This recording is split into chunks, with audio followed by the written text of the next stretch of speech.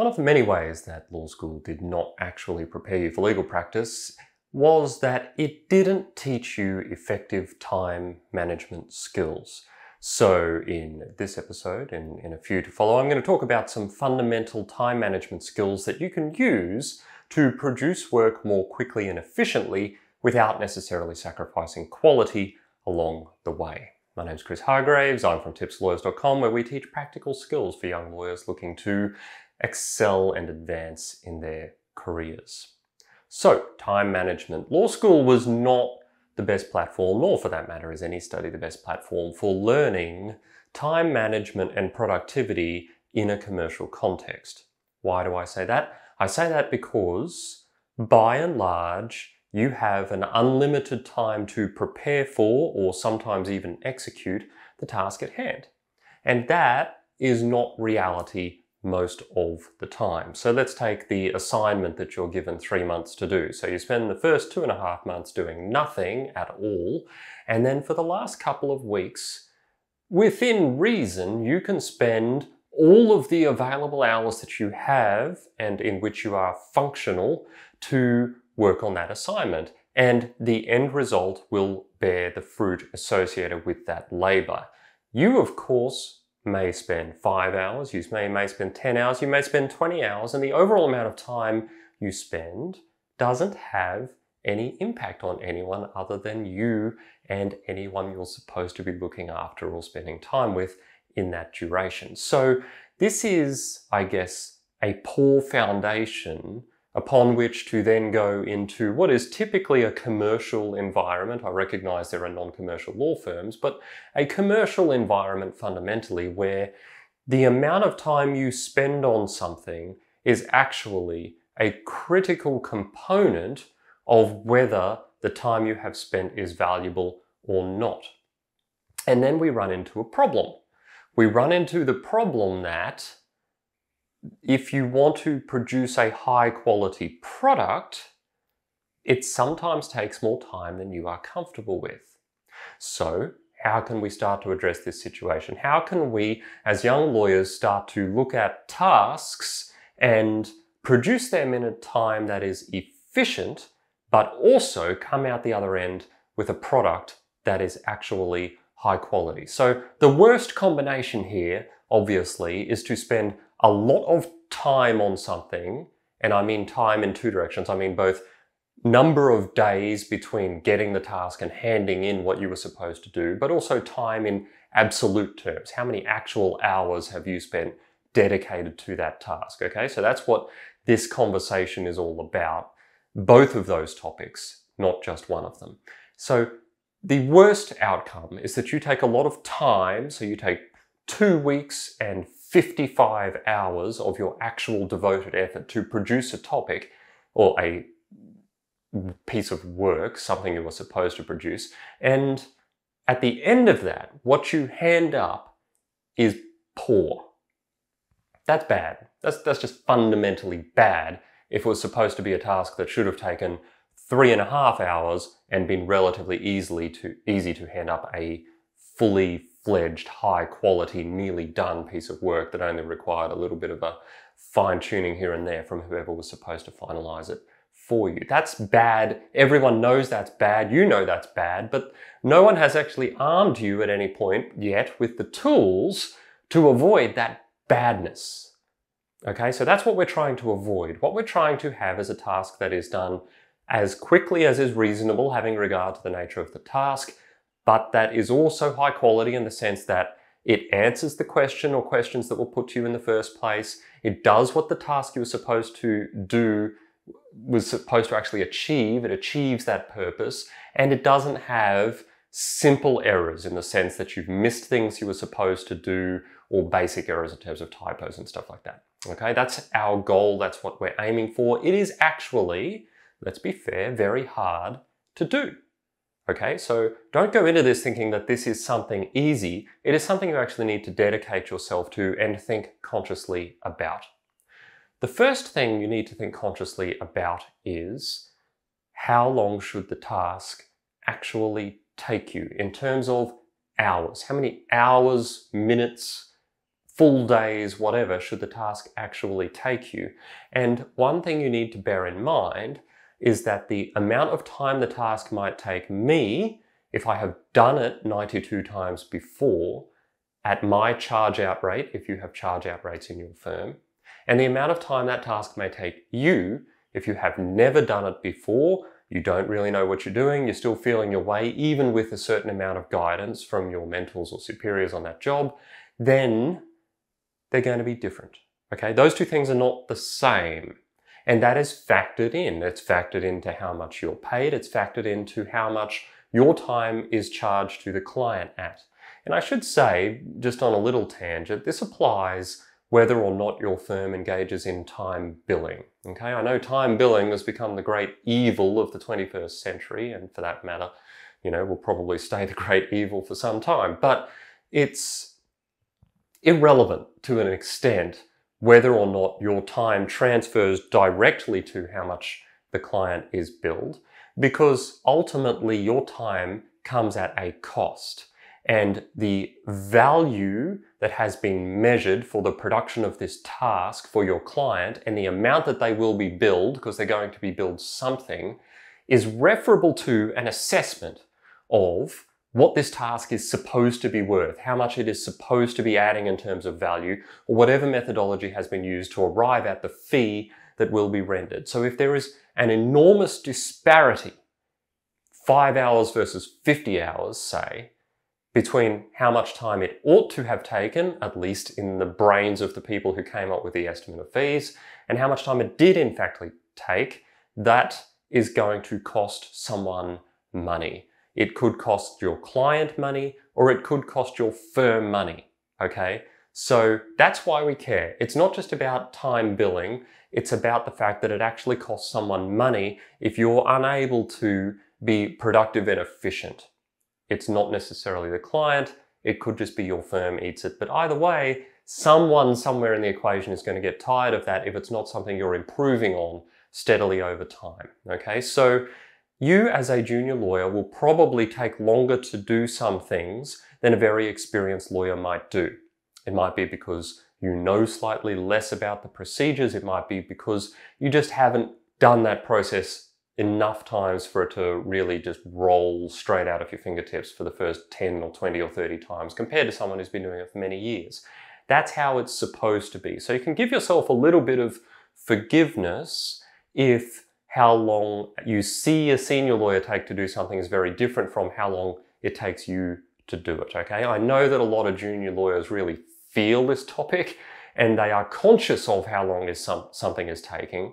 It's just a matter that they don't necessarily know how to make it take less time or, and this is going to be today's discussion, they don't really know how long it should take in the first place.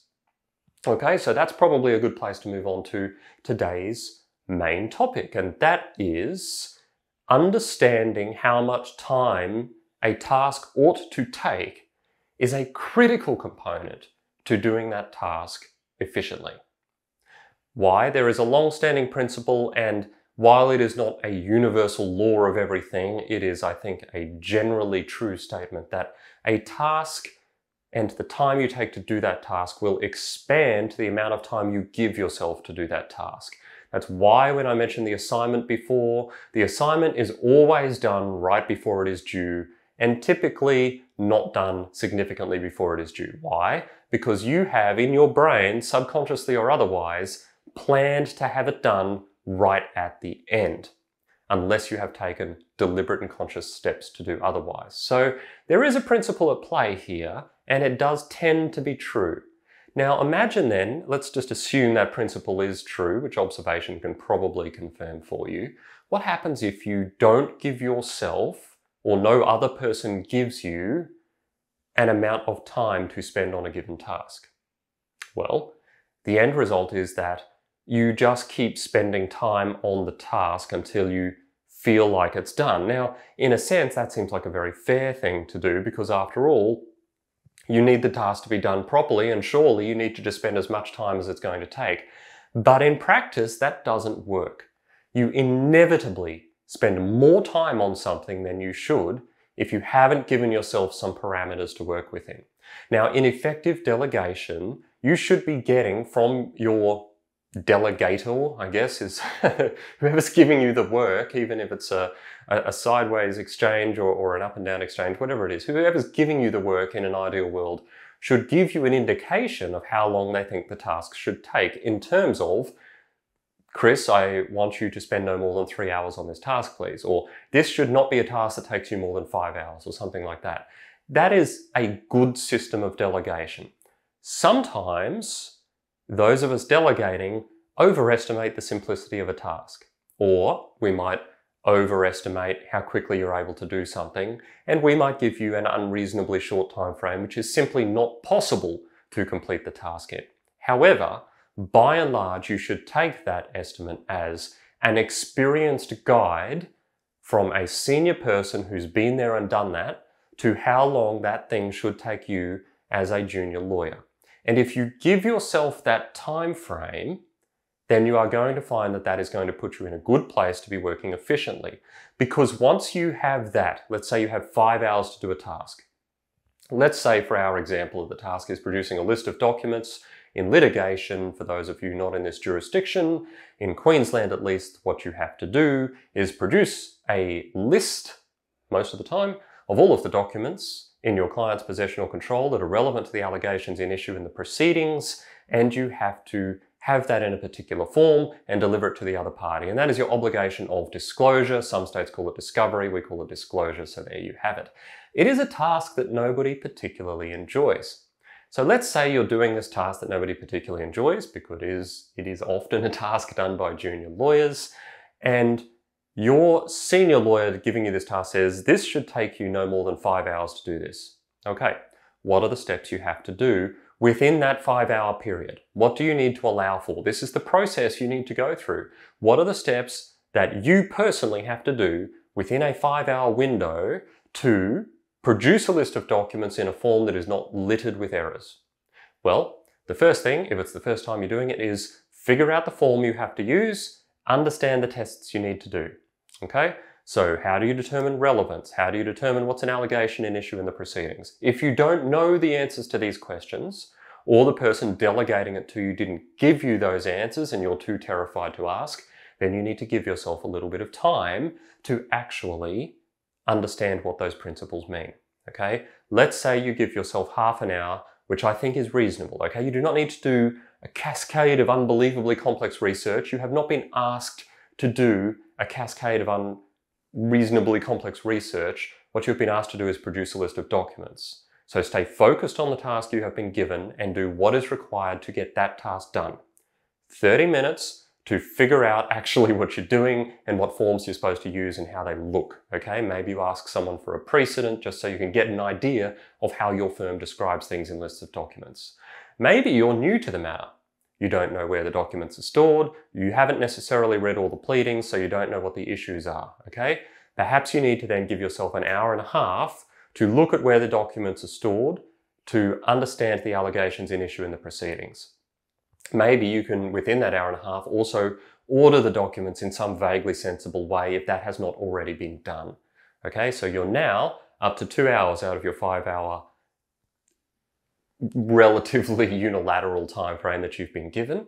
Two fifths of your time has been spent. You know now exactly what you're doing. You understand the principles you're doing it with. You've got an understanding of the allegations in issue and the proceedings, and you have hopefully at least had a bit of a beginning look at the documents you're going to need to go through. Now, if at this point you realize that there are 9,750 documents that you have to read in order to produce this list of documents, the best thing you can do is go back to the person who delegated this to you and say, Hey Joe, um, you wanted me to do this list of documents in five hours.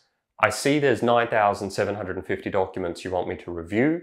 I've got my head around the pleadings. I understand what I'm doing, but I'm concerned I'm not going to be able to do that in the time that is available. Am I missing something that this was a task that was supposed to be done within five hours? Am I looking at things I'm not supposed to be looking at? Am I, am I opening folders I'm not supposed to open? Or is there something I'm missing in this situation? But where I stand right now, I think it's going to take longer.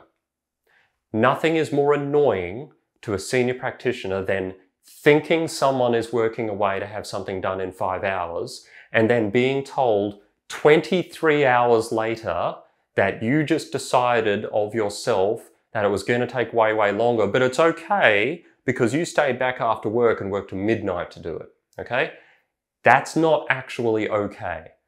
Probably you don't make those decisions if at all possible. You certainly don't get to blow out the client's budget for disclosure by a factor of four just because you had some time after work. Okay? I get the diligence and I get the hard work thing, but your senior people on a matter need to be informed because they have ethical obligations to keep their client apprised of changes in potential costs. Now, maybe they won't do anything. Maybe they'll say, oh, did I say five? I meant 50. Go for it. Sorry, my bad. But whatever the case might be, you need to tell them if the time frame you have been given is just functionally, completely, and not at all even vaguely possible. If, however, you've got your three hours of time left, you understand what you're doing, what the issues are, and you see that there are 100 documents. And you go, okay, 100 documents, they're all going to be varying lengths, but by and large, it's going to be a huge chunk of emails in there. They're going to be fairly quick to review. It's 100 documents in three hours. If I'm reviewing them and doing my list at the same time, then I have about 30 and a bit documents to do each hour. That's a document every two minutes. That's reasonable. I can do that. Let's get to work. Okay? Go through the process. Understand how long it should take. Sure, you're going to be estimating a little bit, you're going to be winging it a little bit, but if you don't do it, you will inevitably go over because you're not actually managing your time at all. You're actually, and this happens a lot, ignoring the time parameters that you were given because, oh, it just took longer. Now, if it takes five hours and 15 minutes instead of five hours on the spot, that's not a problem. But if it takes 10 hours and you didn't tell anyone, that is a problem. That's double. Okay? If you got a plumber to do some work and they gave you an, a quote and then they just did the work and then sent you a bill for double, are you happy? I don't think you are. Neither is anyone else. Okay? Treat the people you're working for as if they're your clients, and that's a good way to go about it. What would they like to know? What should they know? It doesn't mean you need to bug them. I'm not saying bug them at every step of the way, and I'm not saying be annoying. I'm just saying if there's a critical juncture where you realize that in no way are you going to meet the requirements of the task, you need to update them because you might be missing something, they might be underestimating something, someone might need to be told, and you don't generally have the authority to take those decisions out of the hands of your supervisor. Okay? So, how can you do it? You give yourself a time frame, you understand the task you're supposed to do within that time frame, and you break it down into those pieces. Okay, we did our research, we did our reading, we did our organization, and then we drafted our list and we figured out either that we could or we could not fit that within the time available. That is the absolute rule number one, whether or not you are given a time frame. So what happens if you're not given a time frame by the person delegating to you? Well, give yourself a time frame. I mean, ideally ask, but if for whatever reason, maybe the person has gone immediately away on holidays and they're uncontactable, maybe they're terrifying and they're not the kind of question uh, person you can ask questions of. Stuff like that happens. I get that. You can't always find out how long a task should take. So take a punt. Or do you have access to the estimate that's been given to the client? Can you look for yourself? Be proactive. That's the kind of initiative that is good how much is the disclosure process supposed to cost? If you've given a fully, you know, sort of itemized estimate to the client in respect of this litigation, then maybe that communication has already gone out and you can judge from there. You take the full amount, you allow a portion for your time and a portion for it to be reviewed and maybe some questions and for it to be settled and a draft to go back to the client and that sort of thing. And then you give yourself a time frame based on how much you know your hourly rate is or how much the equivalent hourly rate is going to be for your time, and you go from there, okay? You just really need to turn your mind to it, is the main thing. Take a few minutes to offer a procedure to yourself that fits within a particular time, and this gives you the best bet of actually being able to do the work efficiently. Now, this particular tip has gone on long enough, so in the next one, we're going to talk a bit more about the idea of delivering the work that is high quality within the time available. But I can give you a hint right now, it relates to the steps that you allow yourself within the given time. Okay, so if you haven't already, don't forget to subscribe because that one's going to be good, I think, for a lot of people to be able to up their game in terms of delivering quality work. And the future episodes are going to deal more and more with this topic because I know it's a big one, it's a difficult one to get around, but if you can take these tips on board, I genuinely believe they will help you over time. That's all for today. I'll see you next time.